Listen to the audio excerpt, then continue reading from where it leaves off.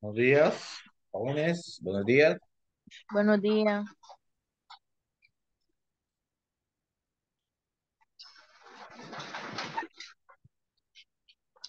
Profe, ¿a qué hora va a ir a la universidad?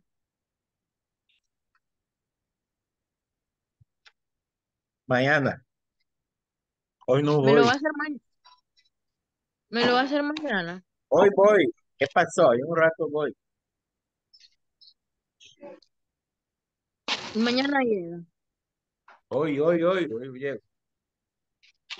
Bueno, Mañana no llega. no, hoy. Morelia, hola Morelia, Chado Valle, Profe, ¿cómo estás? bien, ¿Cómo va, gracias cómo va ese tipitapa? La bandera, profe. Ah, ¿A qué hora ya se va a sé. la universidad? Ah, pues, ok. Entonces, vamos a comenzar. Buenos días, Alexandra. Buenos días, Cristina. No, no, Buenos días. en tu cámara, Alexandra. Está en la universidad. Sí, profe. Bien, ya se empezó. Ya, ya hoy un rato ya nos vamos a ver allá. Arlen, ¿cómo estás? Arlen, ¿qué pasó con doña, doña señora? No tengo idea. Pues vamos a pasar la asistencia, pues rapidito. Vamos entonces, ahí está la asistencia, vamos a ver.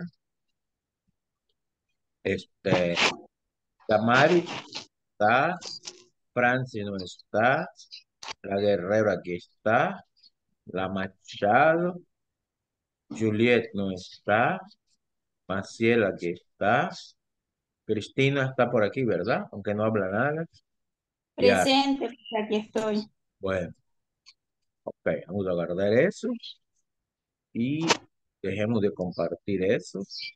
Y ahora vamos a compartir el documento de la clase, que es, ah, creo que es el, sí, ustedes mi aviso se lo están viendo.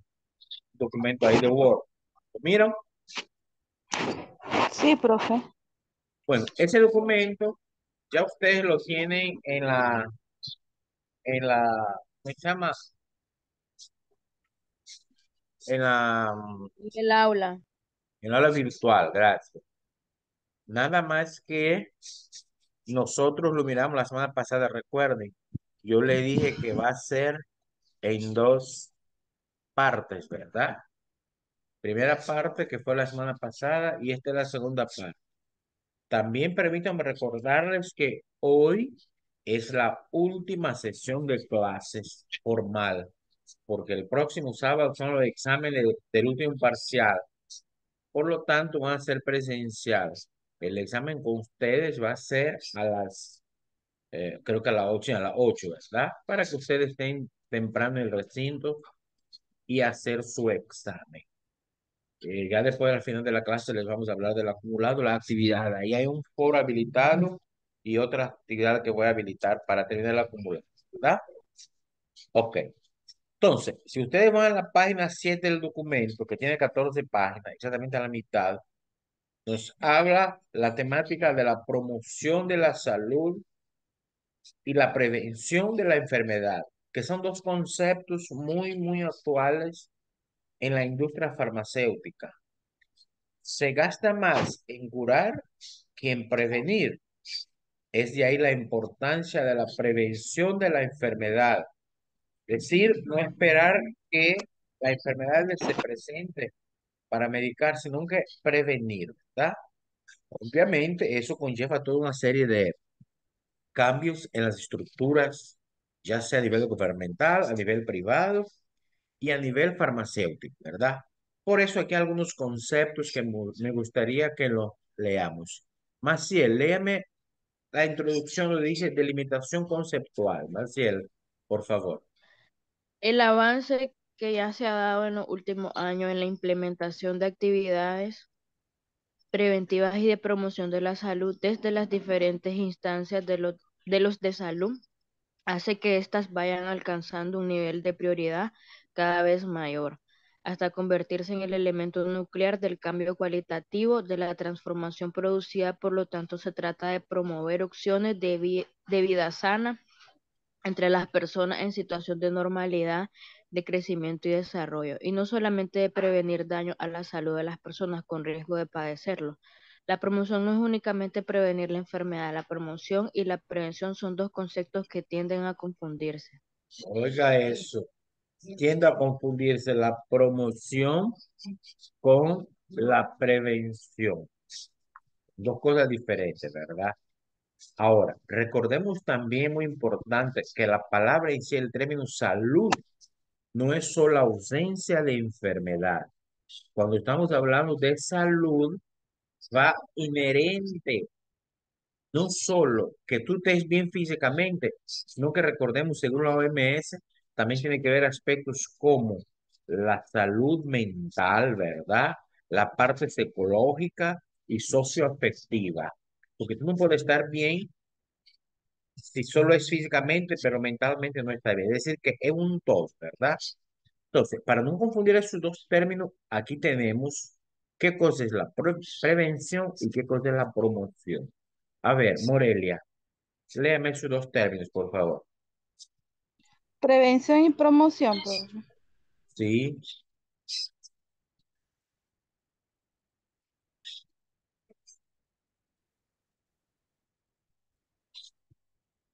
Mañana, Morelia.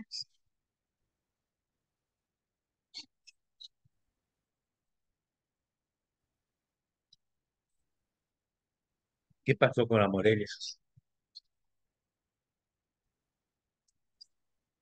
A ver, lea la niña este, Guerrero, por favor. Prevención y promoción. Prevención permite la neutralización de los factores de riesgo de contraer una enfermedad utilizando estrategias de control viables y eficaces. De esta forma, se anticipa la aparición del efecto que puede perjudicar la salud de la población. Promoción, por el contrario, comienza con gente básicamente sana y busca promover medidas individuales o comunitarias que ayuden a desarrollar estilos de vida más saludables. Dentro de lo que sus condiciones de subsistencia se lo permiten, pese que a menudo se produce una superposición del contenido y de la estrategia. La prevención se define como una actividad distinta a la promoción de la salud OMS en 1998 y su principal diferencia radica en su enfoque. La promoción trabaja con la población sana, la prevención con población enferma o en riesgo de, de enfermar. Muy bien. Entonces, gracias. Tenemos aquí, ¿verdad? La Morelia, por si no se me escucha. Para nada, no leo una de la Morelia. Entonces, la prevención, como leo muy bien la Guerrero, es neutralizar los factores de riesgo, ¿verdad? Para controlar una enfermedad. Por ejemplo, el caso de Nicaragua. ¿Cómo se hace la... ¿Qué me quiere dar un ejemplo de Nicaragua? ¿Cómo se hace la prevención? Un ejemplo concreto. Un montón. ¿Cómo se puede hacer la prevención? La fumigación. ¿Perdón? La fumigación. La fumigación, ¿verdad? Para erradicar el agente causal de la, causal de la, del dengue, por ejemplo, que es el zancudo. El patógeno, ¿verdad? Muy bien, muy bien. Ese es un ejemplo típico de Nicaragua. Ahí estamos previniendo. Ahora, la promoción, ahí dice, comienza con las personas que están sanas y es promover medidas individuales o la comunidad. Recuerden, ahí, yo, ahí hay un papel importante de la farmacia comunitaria que ayudan a lograr estilos de vida saludables. ¿Qué significa eso? Ahí puede ser desde terapias, consejos, etcétera, ¿verdad? Y normalmente esos dos contenidos se sobreponen, ¿verdad? Pero la población dice, el enfoque cambia, la promoción trabaja con la población sana y la prevención con la población enferma o, aunque no esté enferma, pero el riesgo de enfermarse. Y aquí viene, ¿verdad? La diferencia entre la promoción y la prevención. Y aquí tenemos un cuadro con los aspectos relevantes. Le voy a dar un poco de zoom. Ahí. Entonces, este cuadro a la izquierda de su pantalla viene la prevención y la derecha, perdón, la promoción. Y la primera columna dice ahí que la prevención es la acción que emana del sector sanitario considera a los individuos y poblaciones como expuestas favor de riesgo. En este caso, por ejemplo, el sector sanitario en Nicaragua, el MINSA, ¿verdad? Es lo que hace la prevención. Mientras que la promoción, el proceso que se da, ¿dónde? En la población y los medios para hacer un mejor control sobre su propia salud. Por lo tanto, la prevención tiene un enfoque de riesgo, ahí está, de riesgo. Mientras que la promoción tiene un enfoque poblacional. No, el riesgo, no se enfoca en el riesgo, sino que en la población. La prevención, hay medidas directas, ¿verdad? Dirigidas al bloqueo de la enfermedad, es decir, no permitir que la enfermedad prevalezca. Mientras que la promoción, los esfuerzos se realizan para mantener y mejorar la salud de individuos, familias y la comunidad. ¿Verdad? Después, la prevención presenta medidas específicas para el control de determinadas enfermedades. Habíamos visto el caso del dengue, ¿verdad? Que se fumiga, etcétera. Ahora, la promoción requiere de buenas estructuras sociales de base. Cuando hablamos de buenas estructuras sociales de base, estamos hablando que allá en los barrios, las comunidades, tenga un puesto de salud, un centro de salud, una farmacia comunitaria, para que puedan promover la promoción, valga la redundancia, ¿verdad? Ok. La prevención, dice, identifican las causas modificables. ¿Qué significa esto? Bueno, por ejemplo, si sabemos que en un barrio hay muchos charcos, hay un cauce, hay mucha humedad, pues hay que modificar ese factor porque sabemos que esos charcos es donde se va a desarrollar el zancudo, ¿verdad? Que va a promover, que va a propagar la enfermedad. Entonces, en este caso, hay que eliminar esas posibles fuentes donde se va a desarrollar el zancudo, ¿verdad? Recuerdo que hace años el MISA tenía un plan, le llamaron plan Calache, que llegaban los barrios, le enviaban todas las cosas viejas, chantas, tarros, platas, donde se pudiera acumular agua. Ok. Ahora, la promoción, gran potencial de mejorar el indicador de salud. ¿Ves? Esos son en síntesis las principales diferencias entre la promoción y la prevención de salud que ustedes como futuros farmacéuticos deben manejar muy, muy, muy bien. Ahora bien, tenemos los niveles y tipos de intervención. Entonces, tenemos la promoción, la prevención, la curación. ¿Cómo se relaciona? Entonces, yo quiero que la promoción, aquí el punto A, primero me lo lee la señorita Arley, por favor, Arley.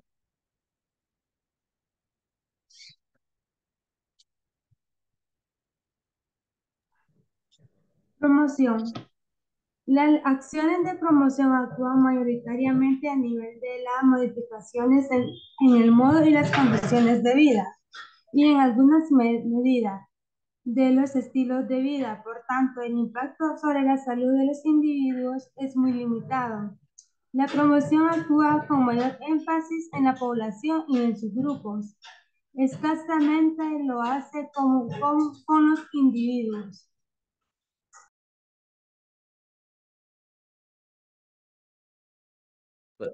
Ok, esa es la promoción, ¿verdad?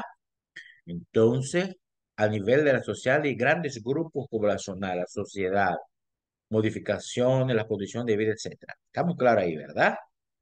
Y entonces, no es a nivel individual, sino que a nivel colectivo, la sociedad, ¿verdad? Los grupos sociales, etcétera, grupos poblacionales. Ok. Ahora, la prevención, este Maciel, ¿cómo es la prevención? Eh, la- las acciones de prevención, dependiendo del problema y de la actividad específica de que se trate, pueden actuar en los tres niveles, la sociedad, los grupos y los individuos. Sin embargo, sus acciones que se dirigen mayoritariamente a individuos y grupos. Gracias, Maciel, pero no era vos, me equivoqué. Vos ya habías leído, pues. Bueno, pero está bien, pues. Ok, gracias de todas formas. Esa es la prevención, ¿verdad? La, preve- la acción de prevención puede ser grupo de individuos, sin embargo, seriamente a individuos, no a la sociedad. Y la curación, Cristina, la curación,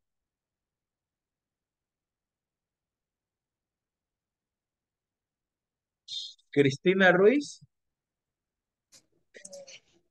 Aquí estoy, curación. a saber dónde estaba. No, se actúa predominante en el nivel individual. Sin embargo, tienen impacto sobre las condiciones de vida y perfiles de salud de los grupos a través de las modificaciones en los riesgos de morir de los individuos enfermos. Bueno, eso es a nivel de tipo de la intervención. Tenemos la promoción, prevención y la cura, que ya es el último instante, ¿verdad? Entonces aquí tenemos en este cuadro, ustedes se miran bien, ¿verdad? Tenemos la relación entre los niveles de intervención, ¿verdad? Entonces, tenemos aquí el centro los estilos de vida, ¿verdad? Que también después tenemos la condición de vida y el modo de vida. El estilo de vida es a nivel de individuo. ¿Y eso qué es? Curación. Estamos viendo aquí el cuadro. Después, la condición de vida ya es el grupo de población. Y esa es la prevención. Y el modo de vida es ya a nivel de social más amplio. Esa es la promoción. Otras palabras, la promoción es la a nivel de sociedad. La prevención, grupo de individuos. Y la curación es individual. Individual. Eso es lo que ustedes deben saber. Y aquí, esto que está aquí en negrito, debe manejar muy, muy ultra bien. Léalo otra vez, este, con negrito, ¿cómo se llama la Cristina Ruiz? Leo un poquito. ¿Qué dice ahí, Cristina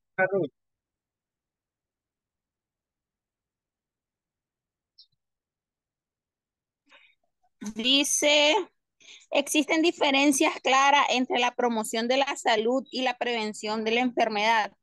Sin embargo, en algunos aspectos, el enfoque de la prevención primaria presenta similitud con el enfoque de la promoción. Ambas pueden compartir instrumentos y niveles de intervención. Sin embargo, la población blanco es diferente. Es claro que la prevención incide en los grupos e individuos en riesgo de adquirir la enfermedad específica, mientras que la promoción de la salud busca incidir sobre los determinantes factores para la salud de los grupos poblacionales de la sociedad en general.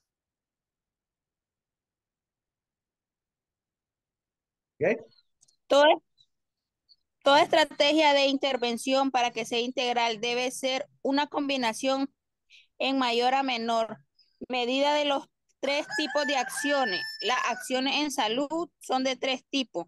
Predominante de promoción, predominante de prevención y predominante de curación y rehabilitación. Ese el negrito es el resumen. Ahí el, el, el gallito también quiere participar. Pues deja que el gallo participe, ¿viste? Cristina. Entonces, la acción en salud, dice, son de tres tipos. La de promoción, prevención y la de curación. Obviamente, la ideal sería, pues, que no llegáramos a la curación, ¿verdad? Que no llegáramos. Ahora, vamos con algunas estrategias de acción preventiva. Aquí tenemos ese término, EBICE. ¿Qué significa EBICE? ¿Mm? ¿Ah? Ahí aparece.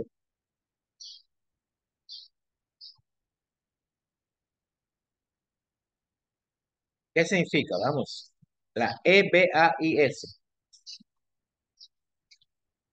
¿Eh? No tiene el documento a mano, porque en el documento arriba está todo esos términos. ATAP, A-T-A-P y E-B-A-I-S. Todo está ahí. ¿Qué cosa es E-B-A-I-S? ¿Quién me dice? Profe, no es, no es equipo básico eh, de atención, pero de las integrales de la salud. Ajá, integral de salud, correcto. Y ATAP, A-T-A-P. Aquí más adelante aparece ATAP, ¿verdad? Creo que aparece. Aquí también ATAP. Eso, ATAP. ¿Qué cosa es?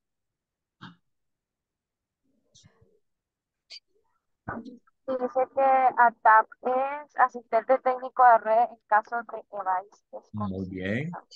Muy bien, Francis Valentina, aquí anda, no sé dónde entra y sale la clase.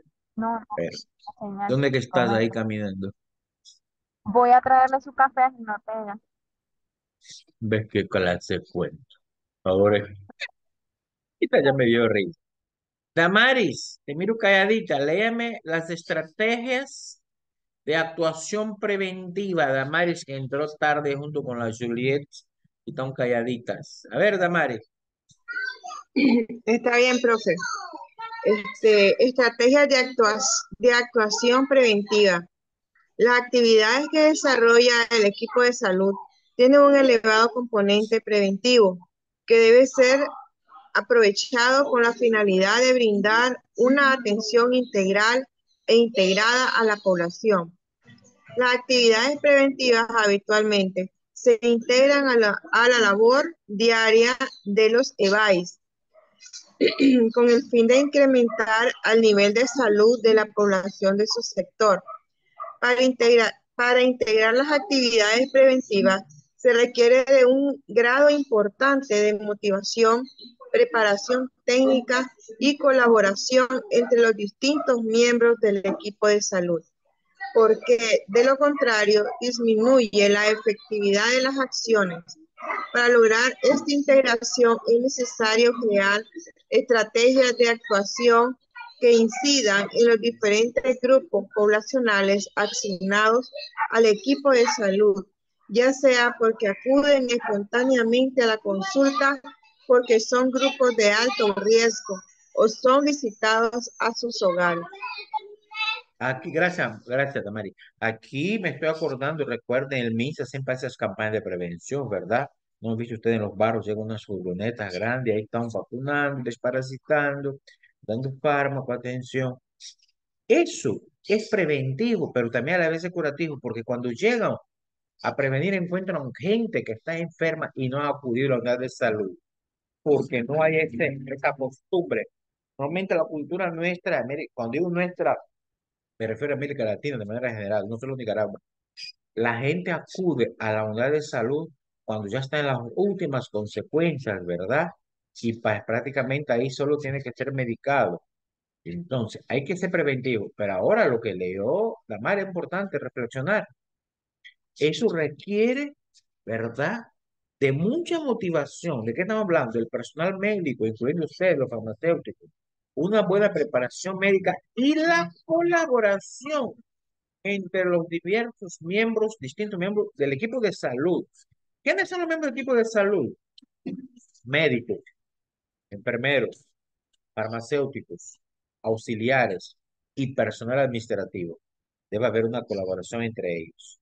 Si esta colaboración no es un equipo de trabajo fuerte, pues disminuye la efectividad. Por ejemplo, si llega un equipo de salud a un barrio a hacer la prevención y ese equipo no está un farmacéutico, ¿qué puede pasar? Y eso muchas veces se da que no es un farmacéutico. Entonces, pues no se puede hacer mucho. También es importante, no mencionaba yo, el bioanalista, ¿verdad? El bioanalista para los análisis de laboratorio, eso es muy importante en el caso ya de la curación. Eso todo que yo les estoy explicando es porque la tarea última que vamos a hacer, voy a activar un ensayo sobre esa, sobre esa, este, ese documento, ¿verdad? Vamos a hablar de ese documento. Ok. Aquí tenemos algunas estrategias para la prevención primaria, la salud, ¿verdad?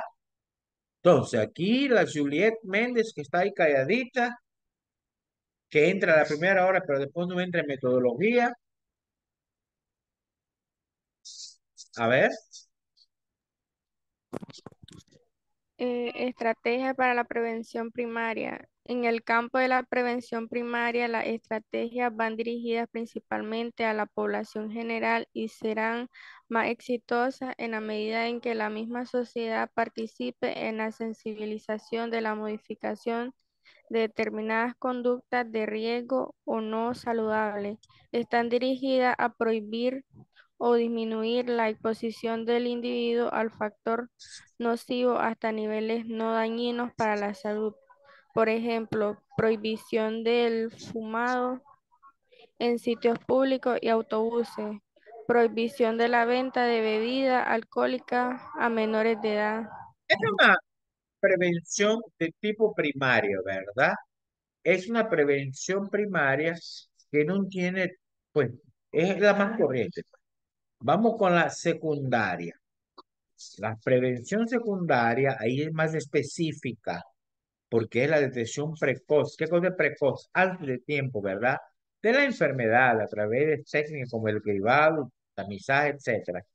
Ahí entra de atención los técnicos, un papel estar la población de riesgo, ¿verdad? Y referirlo a los EBAE, ¿verdad? Para que se realice el tamizaje y colaborar y aplicar algunos de ellos. Adolescentes, adultos, mujeres. Ok. También hay un rol, desempeñan un rol los técnicos de sensibilizador y educador, que es fundamental este nivel. Y debe considerarse tres grupos de factores. Factores relativos. Factor relativo a los problemas de salud, explicación de estrategias y la prueba de tamizaje. Y después tenemos las estrategias a nivel terciario, ¿verdad? Y aquí me va a leer quién es. ¿Quién no ha leído aquí de los... La Morelia, pero la Morelia no se le escucha, parece que está ya metida en... Morelia. No se escucha, profe. Ahora, Ahora sí, sí te, me escucha. ahora te escuchamos, Morelia. Lea. Estrategia de prevención terciaria, Morelia. La estrategia de prevención terciaria. Las estrategias de prevención son más completas porque están orientadas. Complejas, complejas, no completas. Complejas, perdón, profe, no miro Ajá. muy bien. Porque están orientadas a tratar de tener progreso, progreso de la suelo de la enfermedad por su Ay, no se mira bien, profe. Yo soy media ciega. Bueno, ahí déjalo, pues. Bueno, es el cuento que no quería leer. Entonces ahí dice que por su envergadura son aplicadas por el segundo y tercer nivel de atención. ¿Qué significa eso? Aquí dice, la estrategia de prevención del nivel terciario son más complejas. ¿Por qué? Para detectar la secuela de la enfermedad, lo que queda. Muy bien. Ok. Después viene una actualización de conceptos que está en el cuadro 1, ¿verdad? Los objetivos en cuanto a promoción y prevención, promoción y prevención de la salud. A ver, Francis, lea esto que está aquí. Francis, a ver, ahí vas manejando, no sé dónde diablo vas, pero lea eso. ¿Qué dice? Sus objetivos pretenden, ¿Tú vas manejando a- o, o- vas manejando tú otra persona? no, mi mami va manejando. ¿Qué? Mi mami va manejando. Ah, bueno, saluda a tu mamá, ¿yo? Vaya pues. Ok, profe. Bueno, Dice, ¿qué sus objetivos pretenden en cuanto a prevención y promoción, vigilar que la comunidad reciba una calidad nutricional y comercial de los alimentos mediante el control de los servicios de alimentación al público, propiciar ambiente de trabajo que incida favorablemente en la salud física y moral de los trabajadores e implementar la reorganización integral de las unidades del mejoramiento del ambiente humano.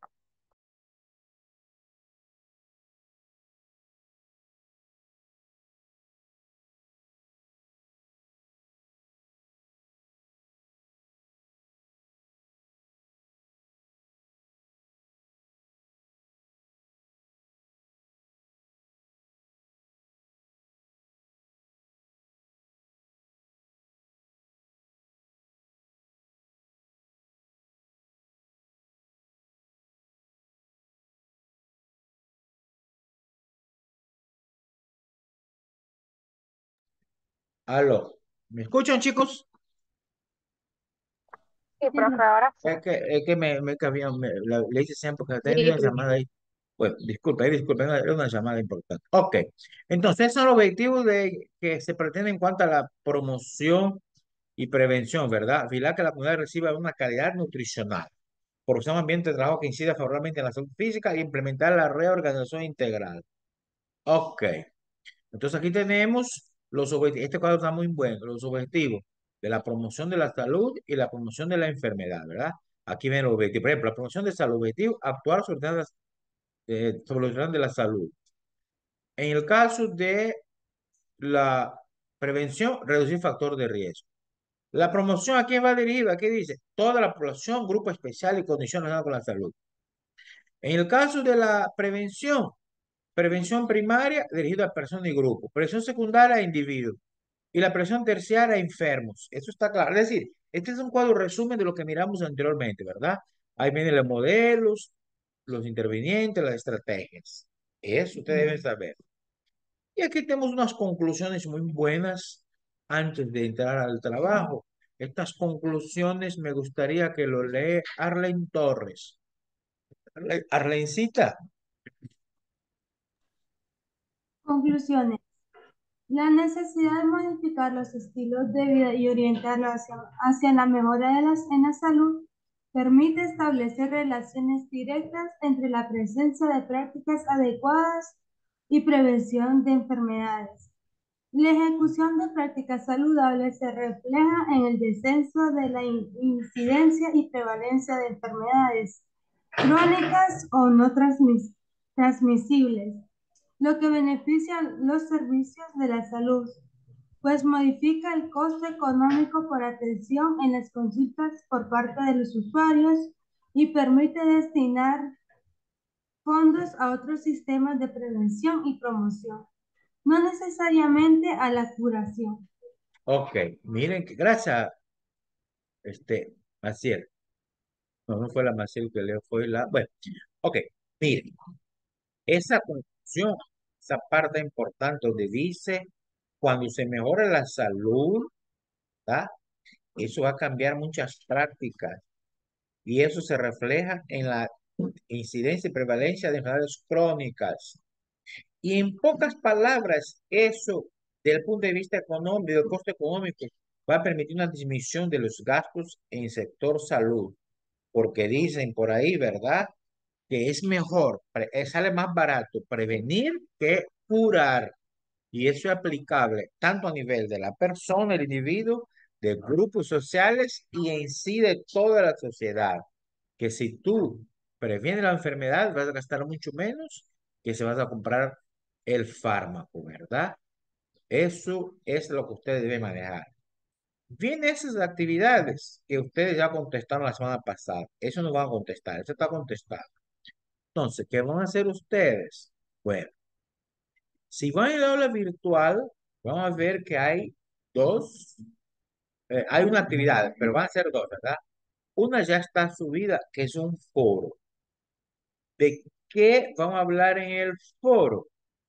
Quiero ver si aquí está. Vamos a ver, a compartir. Área personal.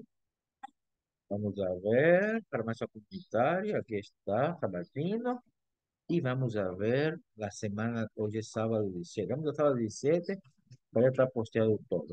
Y aquí dice que va a haber un foro. Estimados estudiantes, en este foro van a aportar, miren qué bonito, cómo debe estar organizado una farmacia comunitaria. ¿Cuáles son sus diferentes áreas? quienes deben brindar la atención al público y asimismo van a hablar de su vinculación con las autoridades del MINSA y proveedores. El MINSA como ente rector del sector salud, ¿no? Desde cómo rendir el informe. Yo digo MINSA, pero ustedes saben que el MINSA en los departamentos se representa a través de los CILAIS. Es lo mismo, ¿verdad? Pero cuando hablo de proveedores, estamos hablando de los laboratorios, ya sea privado o público que son los que abastecen la comunidad, la farmacia comunitaria. Esa es la primera actividad. La segunda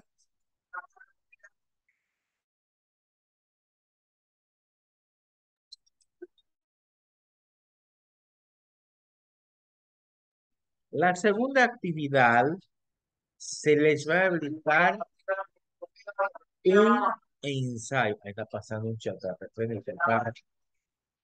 Un ensayo. Recordemos cómo se hace el ensayo, cuáles son sus partes del ensayo, ¿verdad? La introducción, el desarrollo y las conclusiones. El desarrollo es la parte medular. Entonces, usted se va a sentar, vas a leer ese documento todo, bien leído, y vas a hacer un ensayo sobre él, ¿verdad?